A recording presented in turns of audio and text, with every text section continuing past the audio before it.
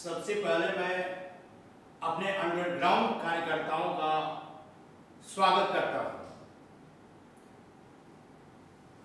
आप लोगों की मेहनत का ही नतीजा है कि हमारी पार्टी दिन ब दिन लोकप्रियता के शिखर पर पहुँच रही है।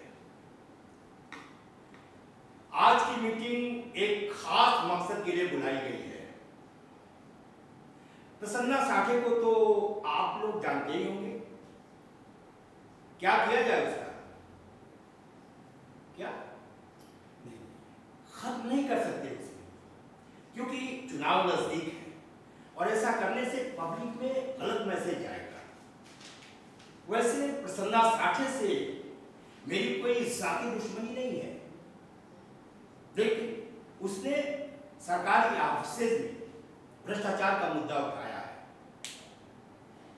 और उसके ऐसा करने से हमारी पार्टी की बदनामी हो रही है। और इसका फ़ायदा रानी जी उठा रहा है सोहेब हमें किसी भी तरह रानी जी को रास्ते से हटाना होगा। अजय को, ठीक है, अजय को रख लो नौकरी पर। और उससे कह दो कि सारे शहर का कचरा साफ़ कर दे और सारे शहर में झाड़ू लगा दे। लेकिन एक बात का ध्यान रहे। किसी को भी पता नहीं चलना चाहिए कि वो क्या कर रहा है, क्यों कर रहा है, किसके लिए कर रहा है।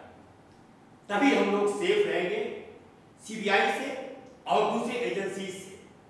ध्यान रहे it will be top secret किसी को पता नहीं चलना चाहिए उसके बारे में। अच्छा अब आप लोग जा सकते